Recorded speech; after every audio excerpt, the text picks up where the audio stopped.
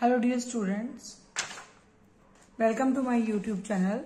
Now the next topic is different rules for Pushdown automata and also we have to solve a question based on these rules beta. Firstly understand about these rules that are applicable on this question. In this case there are three states that are used in push down automata is Q0, Q1 and QF.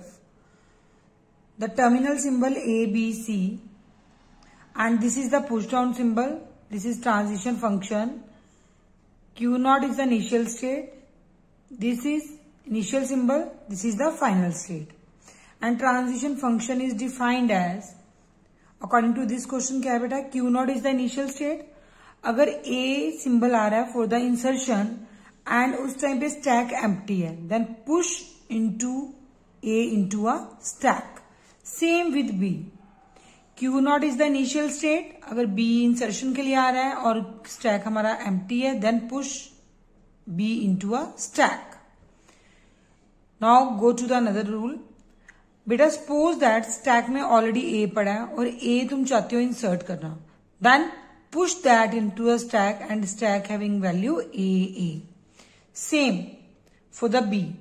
If B is already in the stack and B you want to insert, then push that into a stack and here is BB.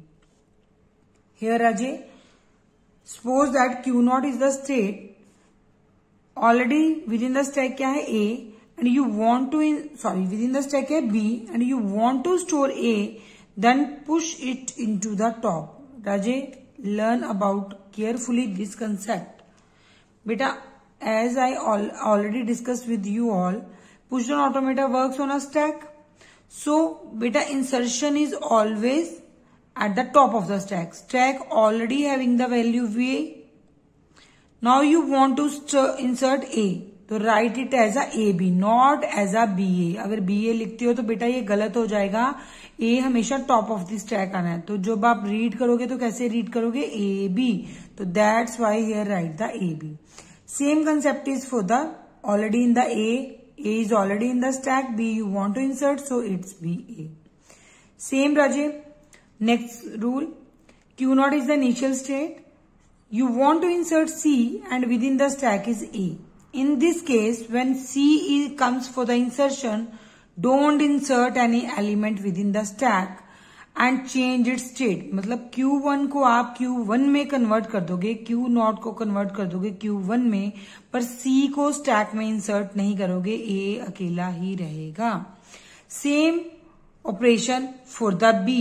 Let us pose within the stack there is a B and you want to insert the C. Now change the state and B is as it is now next rule if Q1 is the state. Earlier, same rule is for the Q0 state. Now here Q1 is the state. You want to insert A and already in the stack is A. Same applicable for the B. If you want to insert B and within the stack is B, then rather than push, push operation की बजाय हम लोग pop operation use करेंगे यहाँ पे means दोनों को अगर ए ऑलरेडी है और एक ए आप इंसर्ट करना चाहते हो at Q one state B already है या बी को इंसर्ट करना चाहती हो at Q one state rather than push pop these two variables stack में क्या रह जाएगा बेटा? नल क्यू वन स्टेट पे जब नल और स्टैक भी आपका एम है this means you reach at the final state hope you understand the rules now the question based on these rule as in the question and initial configuration is q0 having the string BACAB and z0 represent the stack. Find the moves and also find the string BACAB is acceptable by the push-down automata or not. To solve this question, start from the initial move. What is the initial condition? That is Q naught having string B A C A B Z naught. Now check the rule. According to the rule, when B we want to insert a B बेटा हम B insert करना चाहते हैं Q not state पे Z naught अभी empty है empty है या नहीं है देखो क्या था according to this rule when we want at Q naught state पे, बेटा, हम बी इंसर्ट करना चाहते हैं तो क्या होता है?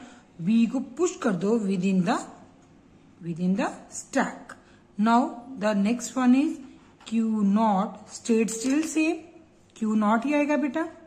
और ये इंसर्ट यहाँ पे क्या बच जाएगा? बी उधर चला गया। यहाँ पे क्या रह गया, Raje?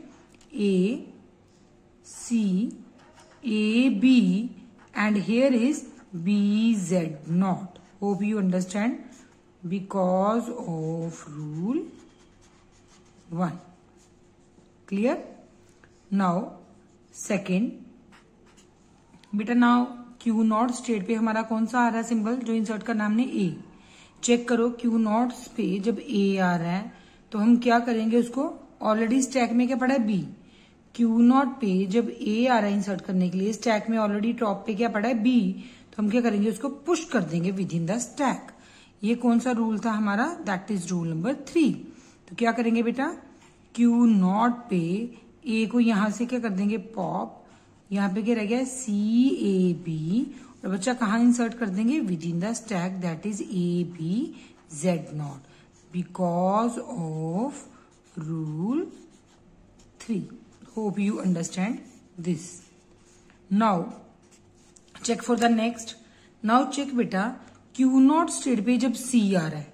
क्यू नॉट स्टेट पे जब सी आ रहा है और टॉप पे हमारा क्या पड़ा है? ए तो क्या करेंगे? Q naught state now change in Q one state और कुछ भी पुश नहीं करेंगे ए एज इट इज़ रह जाएगा। तो बेटा क्या है? क्यू नॉट स्टेट पे जब सी आया तो क्या करना था हमने according to this rule Q one में कन्वर्ट हो जाएगा। यहाँ से बेटा कुछ भी नहीं करना ना तो ए को सी को रिमूव कर दो। यहाँ क्या रहेगा? ए बी और यहाँ पे बेटा कुछ भी इंसर्ट भी नहीं करना तो यहाँ पे क्या रह गया? A B and Z naught is still symbol ये कौन सा रूल था हमारा?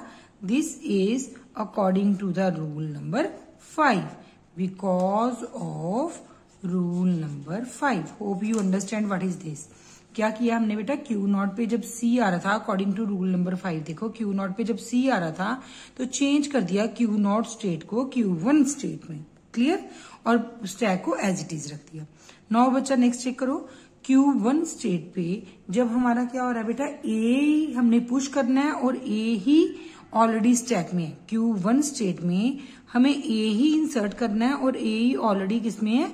स्टैक में है। This is sorry this is according to rule number four ना? Now here is rule number five बेटा क्यू वन पे जब हमने ए इंसर्ट करना है और ए स्टैक में है तो रैदर देन पुश चाहे वो बी के लिए भी है। सेम कंडीशन है, हम लोग क्या कर लेंगे, उसको पॉप कर लेंगे। नाउ बेटा, जब हम ए को यहाँ से पॉप करेंगे तो Q one state Q one ही रह जाएगी। ओके और ए ए पॉप हो जाएगा तो बेटा यहाँ क्या बचेगा हमारा? B what about this again B Z or not. Here is because of rule number 5. Clear, Ajay?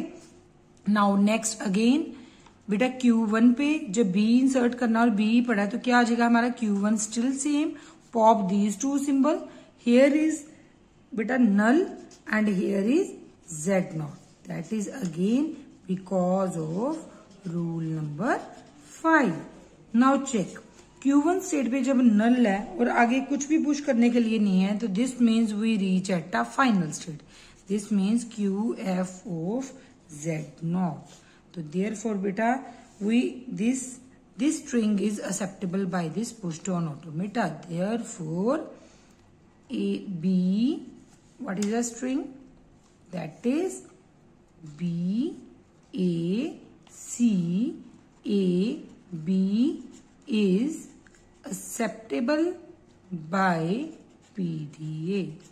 Hope you understand this question, how the acceptability of the string is find in case of the PDA. These are the rules. These rules we apply on this question and solve the question. Students, if you understand better, like this channel, also share with your friend and also subscribe the channel and give your valuable feedback in your comments. Thank you.